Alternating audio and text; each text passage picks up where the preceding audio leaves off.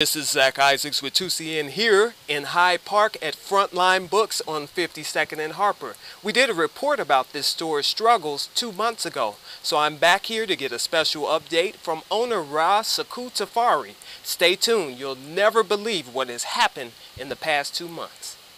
By the looks of this picture, Hyde Park is going to be a very exciting place to be next year when the construction on Harper Court is finished.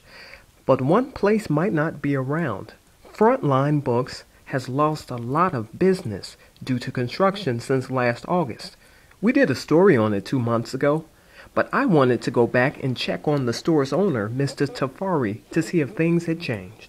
The customer base, we don't have any walk-in, but the customer base who comes from far and wide across from Chicago and outside of Chicago comes keep coming to support supporters to make sure we stay in business. Um, it was one of not one of the best Christmas, It was probably one of the worst ones we had since we've been here. But uh, we're still here, and we're going to be here. But Mr. Tafari knows that things are not going to be normal for another year until construction ends, and the store is struggling to hang on with the lack of parking spaces. But he has a hopeful outlook for the future. We don't have no problems in terms of what is being done we just saw the way that it's been done, it could have been done better.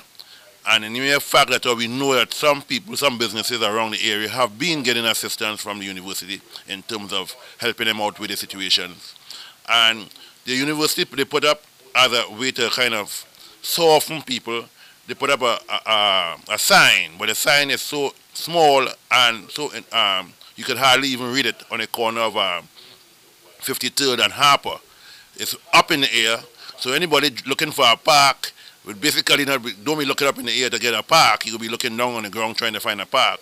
And this sign is up in the air and it's very fine. It says these businesses are still open during the Harper Court construction, but no one could, could see that sign. You know, so basically, this is what has been happening. We've been, you know, continuously rallying the troops and so on, and hopefully, you know, we hope that our university and will get back to us at some point in time, if, although it, I don't think so because up to now they've been very disrespectful as regards to us.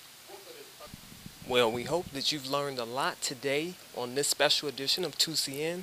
We've got the update of what's going on here at Frontline Books in Hyde Park, and we hope to stay tuned to see what will happen in terms of the construction and if business will continue to thrive despite the challenges.